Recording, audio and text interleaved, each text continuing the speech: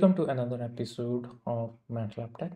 In this episode, we are looking into the concept of truth table in Stateflow and for this particular video, we are looking into the placement of truth table in a chart and based on the placement how should we access the truth table? So let's begin with the so truth table placement is very important when you design anything at uh, the chart level or uh, so um, as you can see uh, there could be three possible placements of a truth table. Uh, either it could be present at the chart level or uh, it could be present at the state level. So uh, it could be like uh, you can uh, have it uh, inside a parent state 1 or you can have it inside a parent 2 state. Um, so so let's see like uh, if you place uh, the truth table and uh, you want to access it how you should uh,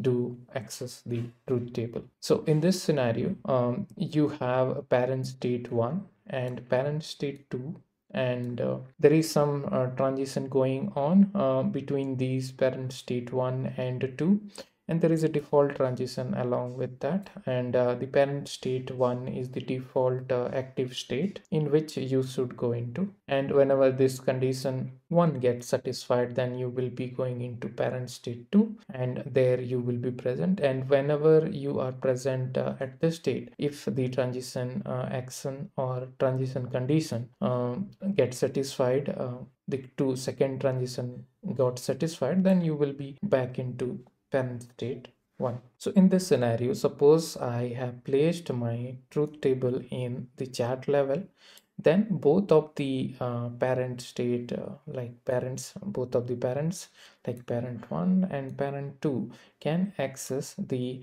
truth table if it is placed here. Now suppose uh, the truth table is not placed here, it is placed in this particular chart. So um, uh, in this particular state, so suppose the truth table is placed in this particular state, then in that scenario, only the operation that will be happening in this uh, particular state, like suppose to have a transition if you are calling the truth table then uh, if the truth table is present in the state itself then only you will be able to access the truth table.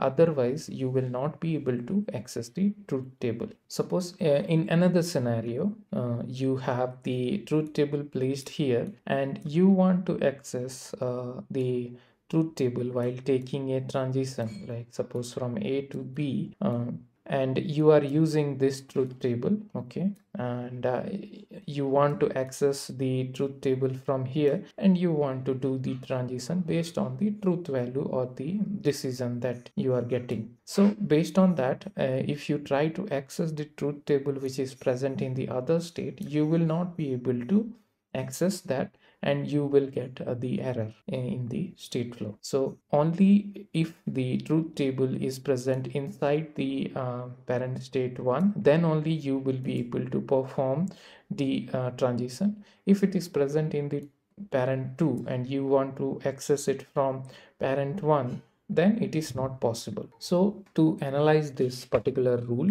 we will be uh, implementing a um, Stateflow model and we will try to verify like uh, at which uh, place we should keep our truth table so that we can access it uh, with full convenience.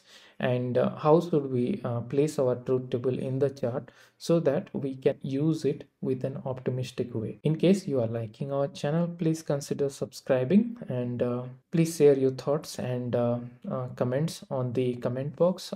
It will help us to improve your experience of learning matlab in this channel we will work on the feedback that is from you and we will try to update our content based on the feedback so happy learning MATLAB and uh, stay connected.